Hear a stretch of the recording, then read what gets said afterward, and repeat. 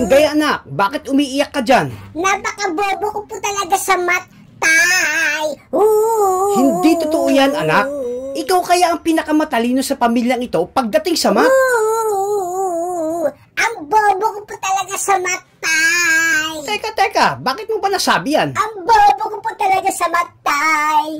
Kasi po, yung sinuklian ko po yung pagmamahal sa akin ni Juan, ang naibigay ko po, sobra-sobra. Oh,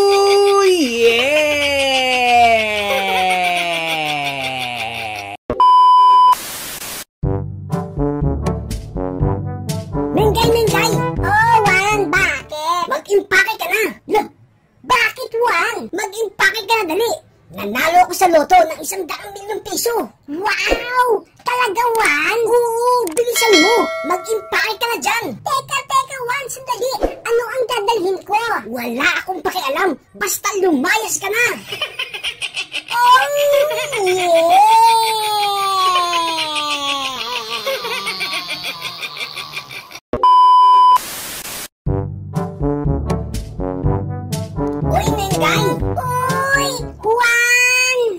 Ayoko sanang pumasok ngayon eh. La!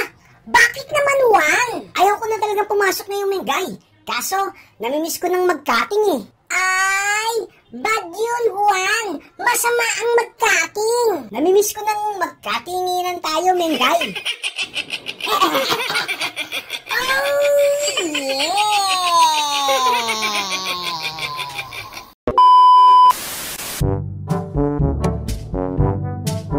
Kamusta, Mengay, anak? Okay naman po, inay. Kamusta naman ang boyfriend mo doon sa Manila, anak? Yun nga po, inay eh.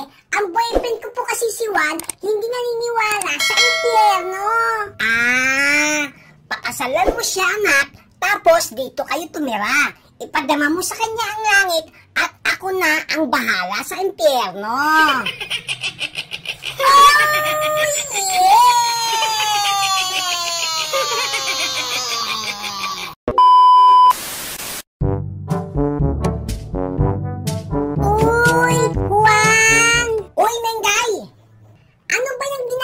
Dyan, Juan? At kanina ka pa kuskus na kuskus dyan sa braso mo. Lintik naman na sa mundo. Mag-iisang oras na nga ako nagkukuskus dito sa braso ko eh. Ayaw pa rin bumula. Talagang engot ka ba, no? Paano bubula yan? Eh, hindi mo naman binabasa ng tubig. Ikaw ang engot, Mengay. Bakit ko babasahin to? Eh, ang sabi dito, for dry skin. Oh, yeah!